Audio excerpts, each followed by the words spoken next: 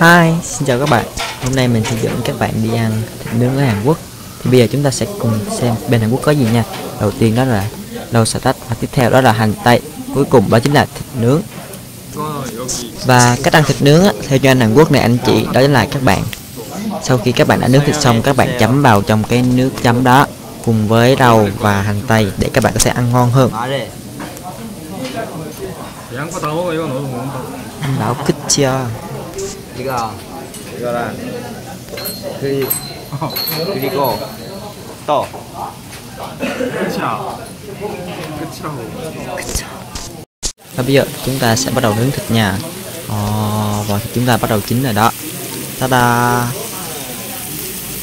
Sau vài phút chờ đợi chúng ta sẽ có đó chính là Tham Đó, một món thịt nướng rất là ngon sau khi đã chín Ồ, bây giờ nhìn lại mình cũng rất là thèm ăn đây nè Ồ, thịt Nhưng mà các bạn biết cách cắt thịt nướng như thế nào không?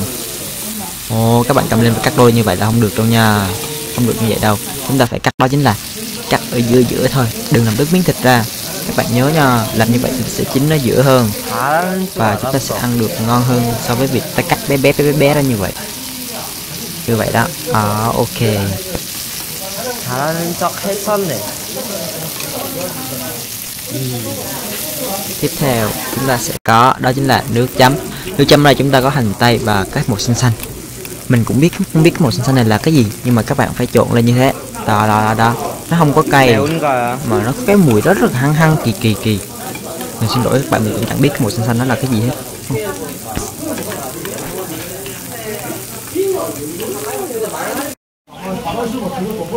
Và bây giờ chúng ta sẽ học cách chấm nước chấm khi mà dùng chung với người đó, người Hàn Quốc. Đầu tiên các bạn bỏ miếng thịt vào sẵn trong nước chấm của chúng ta. Và các bạn thấy miếng tương ờ, tương gì ta? Cũng giống như một loại tương ớt vậy đó. các bạn xem tương ớt đi. Các bạn tuyệt đối không được chấm vô như vậy nha. Chúng ta sẽ lấy một miếng tương và chúng ta sẽ đặt lên miếng thịt của chúng ta. Như thế.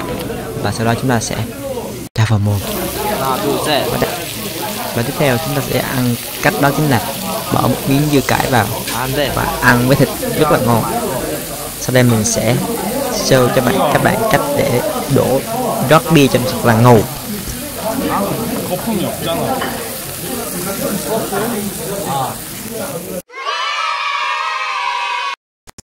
Và tiếp theo chúng ta sẽ ăn đó chính là thịt của cổ con heo. Ồ, nhìn như là bí tết luôn đó chúng ta sẽ đặt lên và cắt ra. Nhưng mà ô con nữa. Anh đẹp trai này anh quên bỏ mất vào cái cái gì ta? Muối tiêu á. Ồ anh bỏ quên bỏ muối tiêu và mất tiêu rồi. Ai thiệt là. Các bạn cho thiệt nhiều muối tiêu vào ăn cho nó ngon nha. Như thế này. Ta-da và bây giờ mình sẽ ăn cho các bạn xem. Mò mò mò mò mò mò. Rất là ngon luôn đó.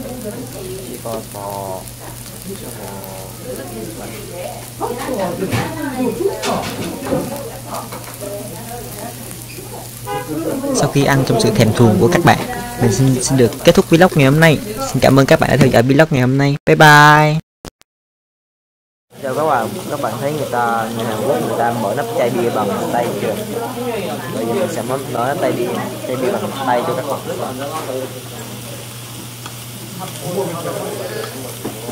Đây ạ, đây. Uh,